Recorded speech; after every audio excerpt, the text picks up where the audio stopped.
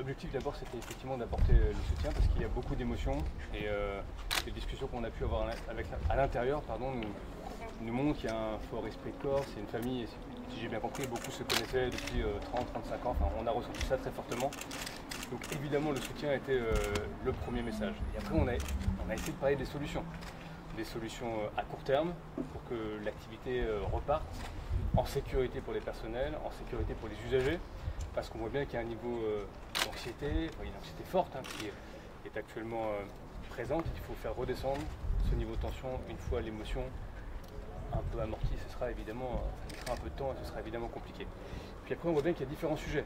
Il y a des sujets euh, d'équipement, notamment pour avoir un accès facilité à la régulation et puis derrière au service de sécurité. Il y a peut-être des points de blocage qui sont pas très bien identifiés, sur lesquels il faut travailler en lien avec les services de sûreté, peut-être de la sûreté euh, privée, conjoncturellement, évidemment avec les services de l'État, pour bien voir quel point euh, nécessite aujourd'hui d'avoir plus de présence humaine. Il y a des sujets euh, d'organisation au travail pour retrouver peut-être une, meilleure méthode. Et puis il y, a, des choses qui devront être tranchées localement.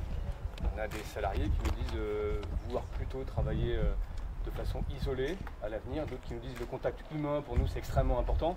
Donc moi j'ai pas du tout, disons, le, vocation à, dire ce qui est le plus praticable, le plus praticable, le plus sécuritaire, le plus adapté localement.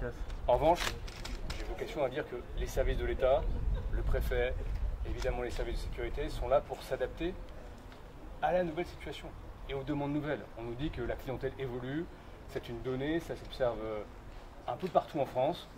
On voit bien que la crise du Covid est aussi une donnée nouvelle avec euh, un service qui euh, aujourd'hui fonctionne quasiment à 100%, mais une population, une fréquentation qui n'est pas tout à fait euh, de retour à la normale, avec des incivilités, avec des agressions qui semble-t-il sont croissantes. Donc encore une fois, moi, je suis venu m'imprégner, d'abord dire euh, évidemment le soutien de l'État, m'imprégner de cette réalité locale, essayer de mettre aussi un peu d'impulsion pour que les choses se passent le plus vite possible.